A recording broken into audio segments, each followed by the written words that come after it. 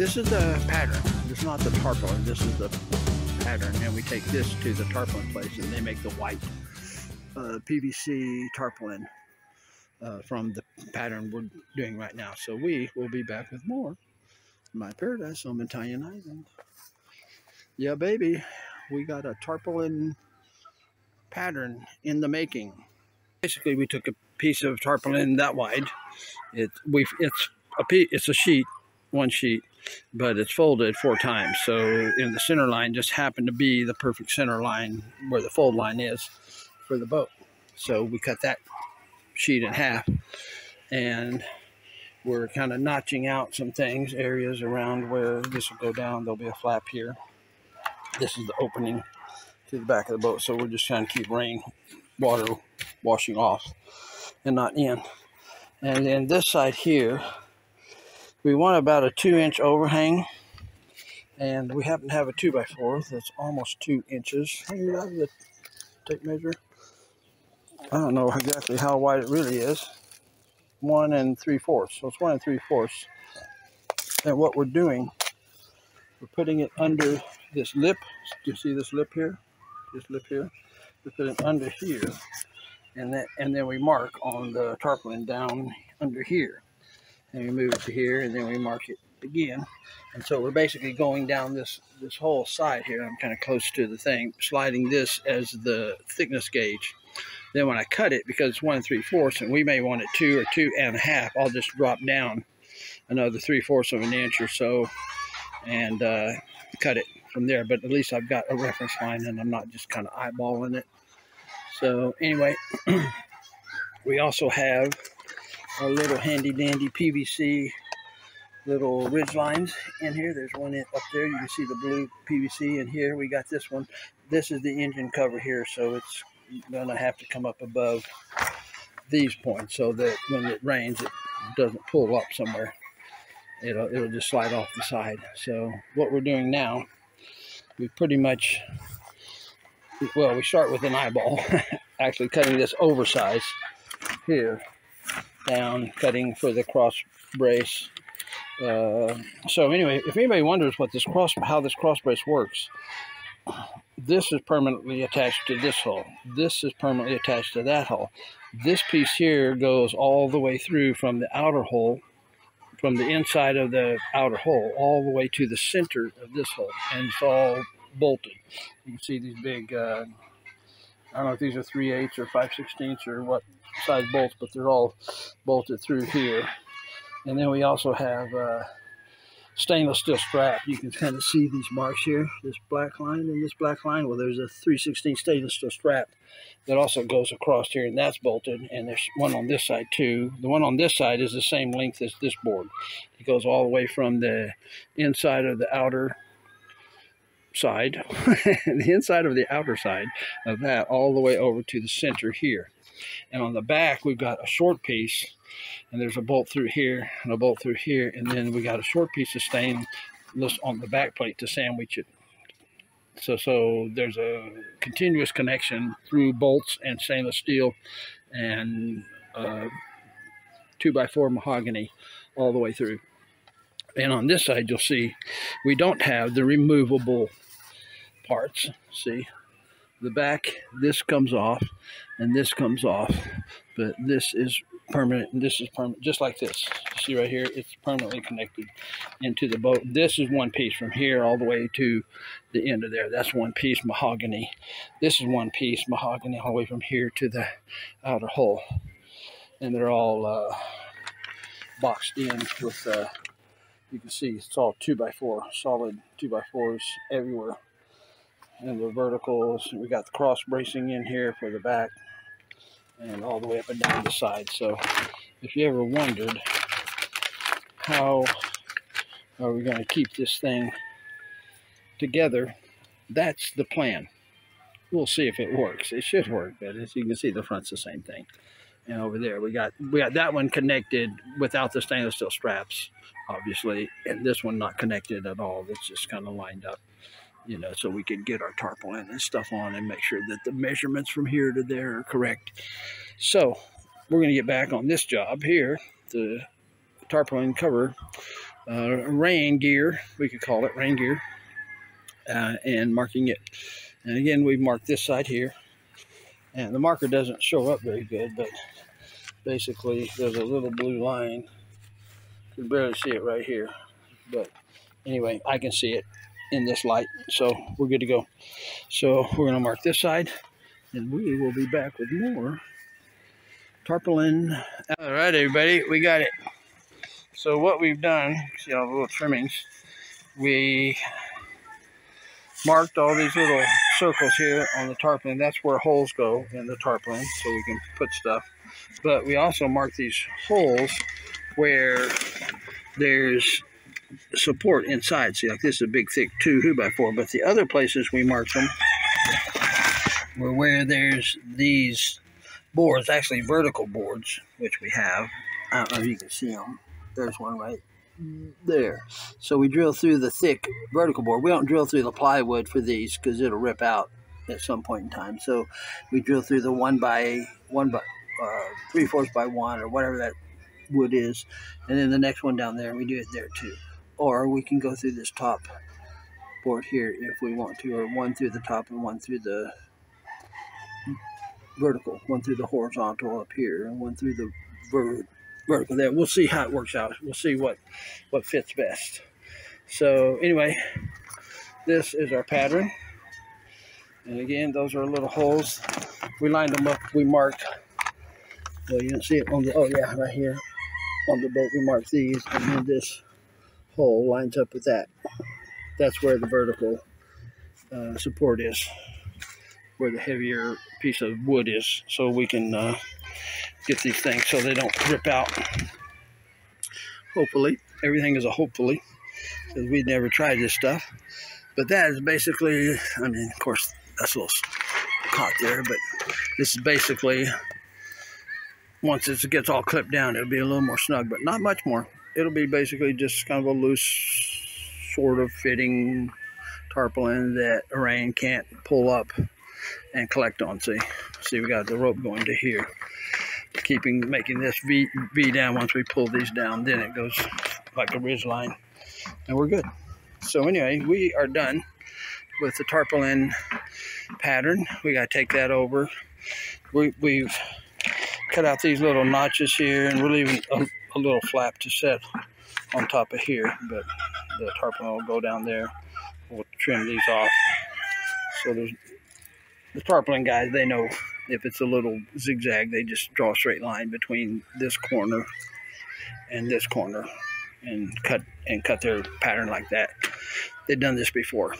so anyway, we will be back with more with my paradise on Bantayan Island. Of course, you see we got the trampolines flipped up. We flip them down and we can sleep on them. You've seen the video or maybe you have it where we connect a, a hammock from across between these two four, actually there's four shark fins from the one in the front to the one in the front, one in the back to the one in the back. And we got two hammocks there, and then we can connect one from the back over to the front corner over there. And we have a third hammock and two trampolines that we can sleep on if we want to go camping. And we're all under here. And the hammocks have got built-in oh, uh, mosquito nets that are really cool. They just zip. The whole thing just zips. And it's really nice. Really, really cool. So anyway, we will be back with more from my paradise on Bantayan Island. That be the tarpaulin paradise. Well, today we are having an epoxy party. See that right there? That's the epoxy. Again, we're using the non-sag. Not necessary on this job, but that's just a small can, so we don't want to bust open a gallon can to just do this minor little bit of epoxy. So anyway, we got bolts, screws, whatever you want to call them, going through the side of the hull uh, into the inside, and then we got little nuts that we put on there. Those little nuts and washers. Those uh, self-locking or whatever you can call them, locking nuts. They got nylon on the inside that kind of like a locking nut.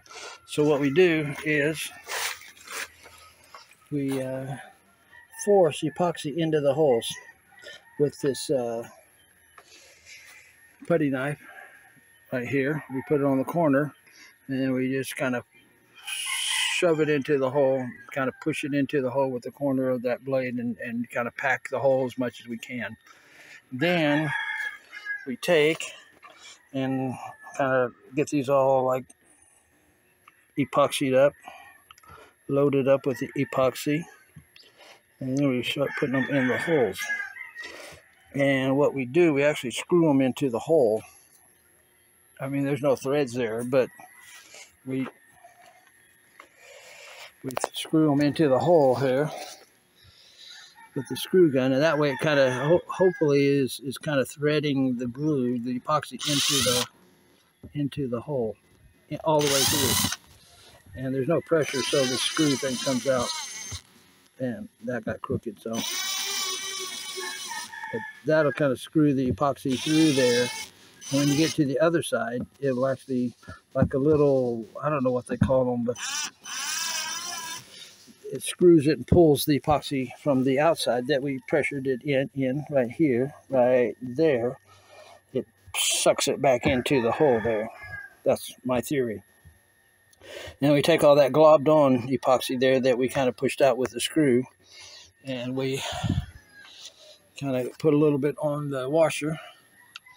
This little washer, we put some on there and then we uh, just kind of push it into the hole.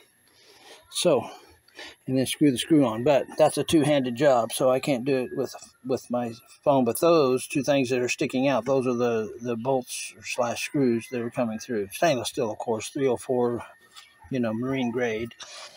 And the other thing we're doing, I forgot to mention this, is we're going to put another another hoop on the inside here, further distance. Whoop. And I'm doing this through the eye of the camera, so not exactly. Oh, there we go. There we go. Got it. Okay. Then we put these on the inside, this on the outside, and then we can, if we need to like hook a rod and reel to it, or hook anything to it, just clip on because we got all these little carabine. There's different sizes just that fit perfectly on these. And then we put them on the inside, see, like that one. There is on the inside we'll cut those little screw heads, those screw ends off and sand, file, file them down so that they're not sharp. Same with this one, like this one's kind of kind of long. I've got my angle grind, and I'll just cut through that. And then we're doing it to all these.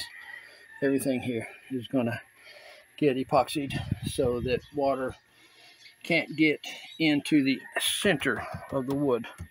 Here, if we seal the outside and seal the inside, or the outside of the inside and the outside of the outside, water shouldn't go in and get in the inside of the wood, which is where the rot occurs and you don't know it until all of a sudden this, there's a hole in the side of your boat. But we don't want a hole in the side of a boat, so that's why we're slathering on all this uh, epoxy.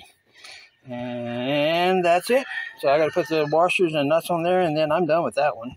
And then on to the next one. These ones here, because see, one screw went through a thin part, one went through a two hoop by four. Well, you can't put that hoop on there because it has to be flat. It, it doesn't work at an angle like one high and one low.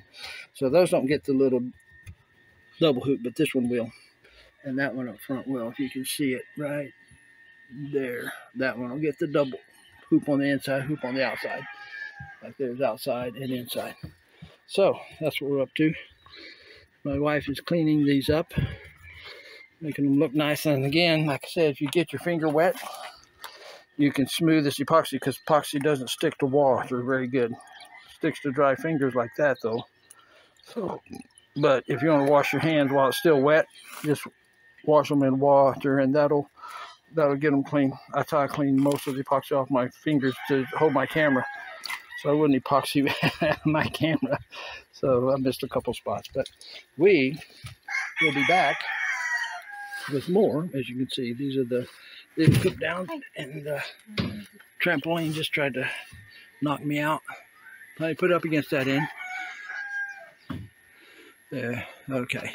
Oh, I'm zoomed in. That's why we can't tell everything. So anyway, working on the center hull now because it was raining some, and we're covered by the tarpaulin here, so we don't have to worry about rain interfering with our, our job. So I'm going to get busy and we'll be back with more from my paradise on Bantayan Island. Yeah, we got stuff. It's an epoxy party. Yeehaw. Paradise out. Hey, everybody. Look at that. White as snow. But what we're doing here, we're making these little clips on here so we can clip the uh, tarpaulin onto here. Just snap it on and I've got one hand looking through a camera so and these aren't screwed in and epoxy and stuff yet so anyway there we go. We clip these on and then we'll pull this tight over here on that side. I got to put one here I got to put one right here where these two dots are. One and where'd the hoop go. But you can see yeah so I got to drill two holes here and mount that guy right there. And this clip here will clip onto him.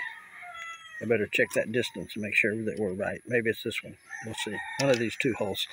But anyway so we got all these done here along this side pretty much. And we're not doing this. Oh also like this back one here. Clips on here too. Clips on here. Like that. Voila. So when the boat's parked the rain won't get in here and we're not doing this side. You see this side's longer here over the side. That's about two inches or two and a half maybe three at the most overhang. But this one's got this is four or six. And the reason that it's four or six is because we're actually going to put a, a, a rope down the center that raises this up. And then that'll bring this to the two and a half or so inches. And then that that crease line that's higher than the sides will make the rain uh, run off and uh, not get in the, the boat. We'll have a rope going through here, tied to here and here, and then it'll it'll hook underneath this part here, and that'll hold the front like that. And in the back, of course, you saw the clips on there. We're going to have to add a couple clips, two clips onto this outside here. We didn't do that earlier, but we need to add another set of clips. The other thing we're doing, we're adding, we're, we're, thinking about putting two clips on here so we have little hoops on the inside to clip things to. Like when you're fishing with your rod, if you're fishing for big fish, you tie your rod, you have like a little lanyard from your rod and you clip it onto your boat so that if a big fish yanks the rod out of your hand, he don't win the rod. He's still on the hook and you just grab your lanyard and pull your rod back in. So yeah, so everywhere these two things are, we're gonna we're gonna add another hoop on the inside here. That's one of these hoops that we can clip stuff to all all the way down. And everywhere there is one on this side too. So you know they'll be on this side too. So we'll have little hoops everywhere.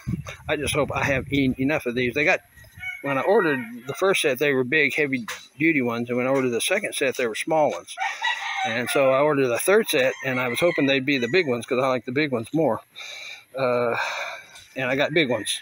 So I've got quite a few of these, but I hope I have enough because I had to do three holes, all three holes with these. So I may have to, I may not be able to put all the inside hoops on there. We'll see uh, how many of these smaller ones, because I mean the small ones for these because there's no real stress on these, you know.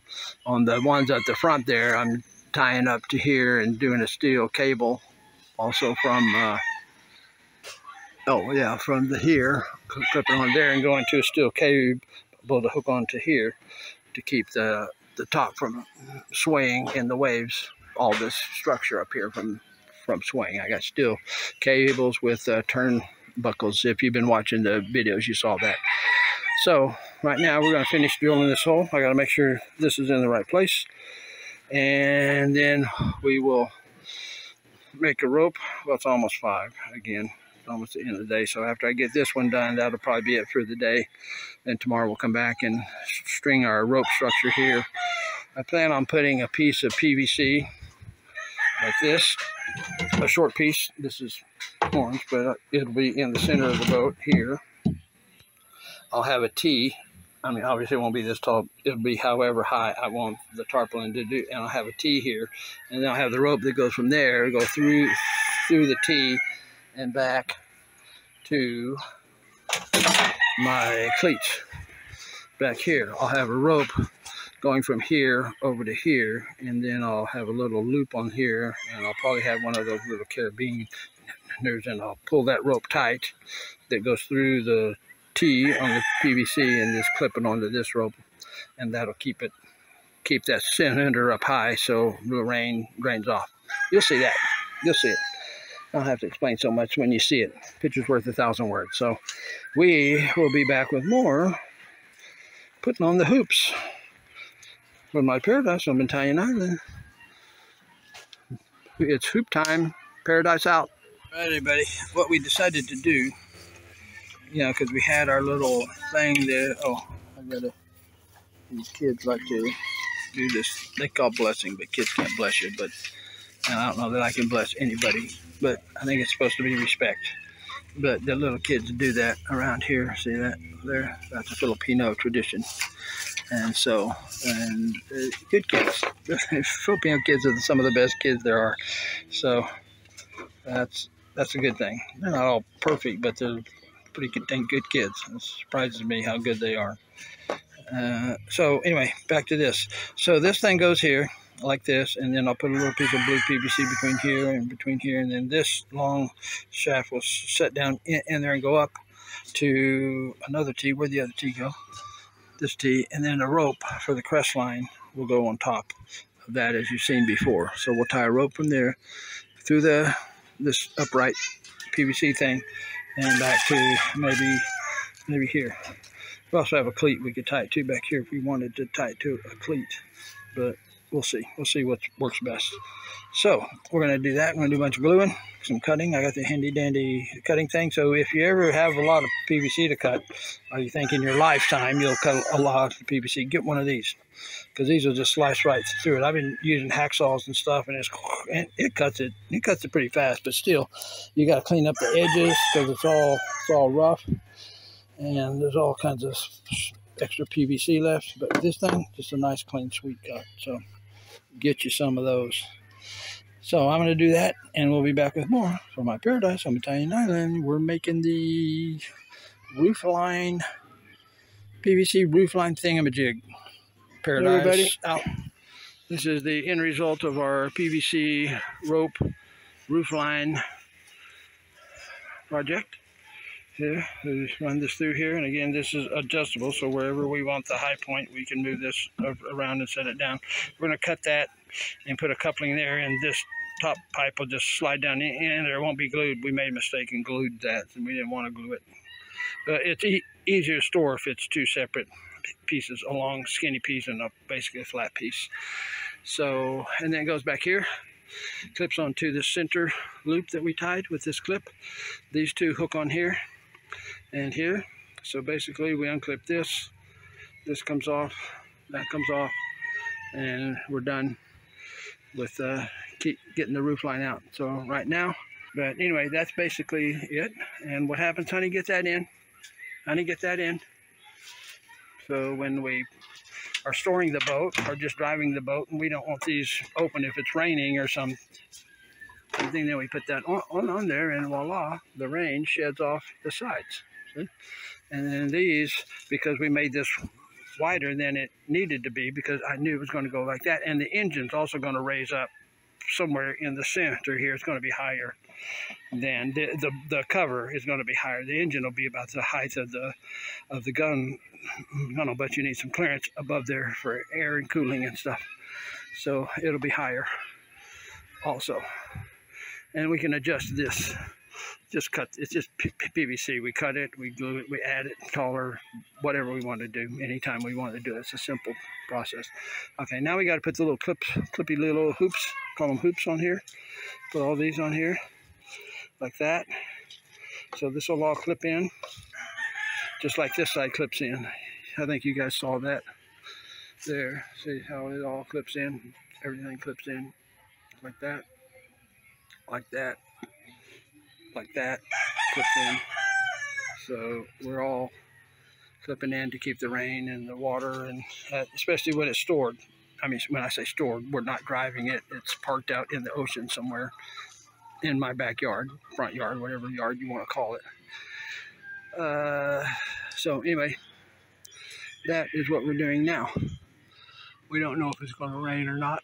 It's looking kind of ominous out there, but we're going to press on until we it's sprinkling some. I can feel misting, but there's a clearing there, so who knows what's going to happen weather-wise. We're always questioning weather here as to what we can work, but the good news is we can get under here if we're working on this side. Working on this side, we're not under here enough to be out of the rain, but so we got the center line done. Now we can measure and get these hoops in the right place so that when we clip this, it'll be nice and snug.